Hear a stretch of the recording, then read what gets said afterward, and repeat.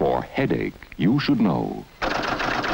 Which tablet is strongest in the pain reliever doctors recommend most? This computer knows the formulas of all leading brands. Now it analyzes doctors' prescriptions, doctors' recommendations for the answer. Is it an aspirin? No. An aspirin with buffering? No. The one that claims extra strength? No.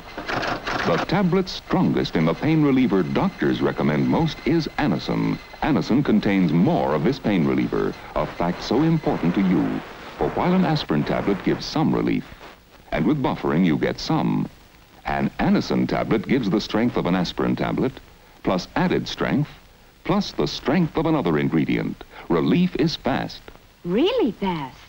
Yes, of all leading brands, the tablet strongest in the pain reliever doctors recommend most is Anacin. Anacin contains more of this pain reliever.